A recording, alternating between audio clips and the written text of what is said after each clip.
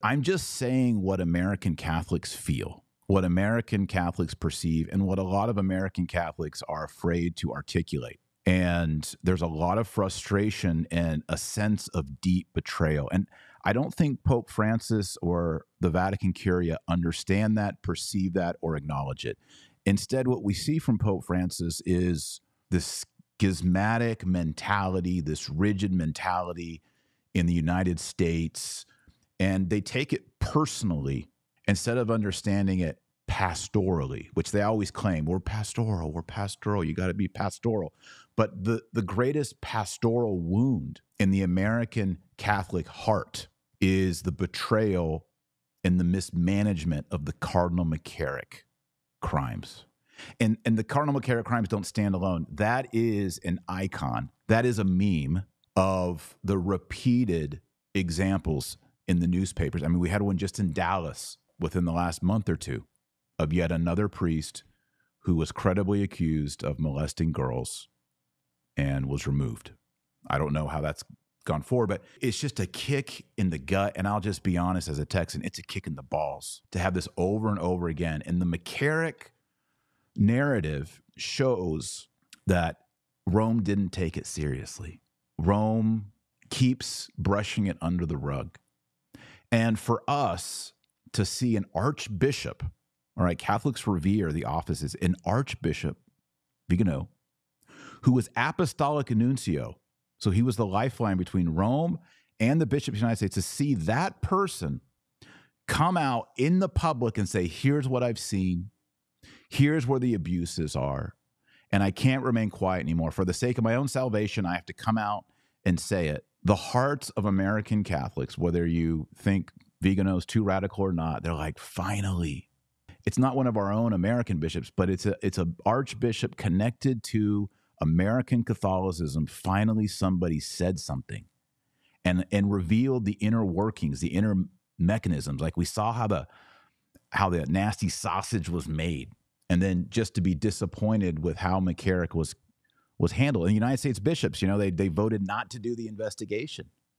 Bishop Strickland was the only one who stood up and articulated it and said, you know, I think it also has to do with the problem with same-sex attraction within not only the priesthood but the episcopate. And then what did we American Catholics experience? Pastoral accompaniment, as we're told by the Jesuits constantly? No. Then Strickland was canceled. So if you're a non American Catholic watching this and you kind of want to understand how, how does Taylor Marshall think and how do uh, Catholic Americans think and what are the wounds? What are the concerns? These are the wounds and concerns. I know this is going to be a big story, but I would beg people in the Vatican to either explain what I'm trying to explain now live on YouTube to Pope Francis or to show at least clip out this segment, the last five ten minutes of what I've said, show that to Pope Francis. Say, do you realize that you're dealing with a wounded demographic that is huge? And have you, as a pastor, as a shepherd, as a priest, as a vicar of Christ, responsibly ministered to these people or have you beaten them down?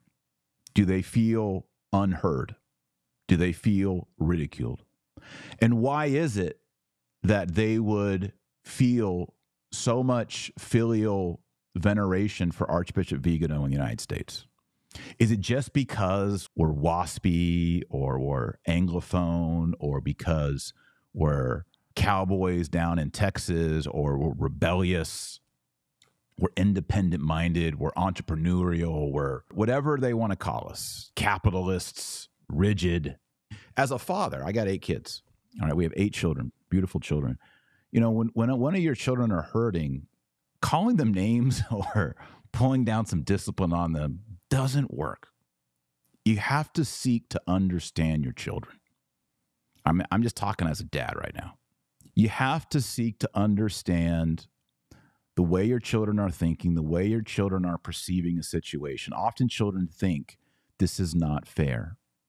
Sometimes you just say, well, life isn't fair. But but on but deeper than that is is you want your children to thrive. I want all my children, all eight of my children to be more holy than me, have greater faith than me, greater charity, to love the poor more than me, to to have, you know, a deeper devotion to the Mass and a, and a deeper devotion to even the Holy Father and the Pope. I want all my children to excel beyond me, right? It's not just that I want to have a legacy. I love them and I want them to to experience life and Christianity and Christ in a deeper and more beautiful way than I have. My wife and I tell them, we want y'all, we want to do whatever we can to set y'all up to be even better than us. Like that's that's what we do as parents. And I just sense in the church, and again, I'm speaking from the heart here. I sense in the church that the priests, the bishops, the cardinals, and yes, even Pope Francis, they don't care. And they're frustrated and they're annoyed with us. All right. So, Pope Francis, if you're watching, Cardinals, if you're watching, this is the story, this is the feeling. So, in order for you to understand Archbishop Vigano in his place in the narrative, you need to understand what is being experienced because so many of the United States dioceses have gone bankrupt. I don't know what the number is.